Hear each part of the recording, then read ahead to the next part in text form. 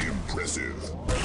Two frags in two seconds. Excellent. You have the flag flag returned.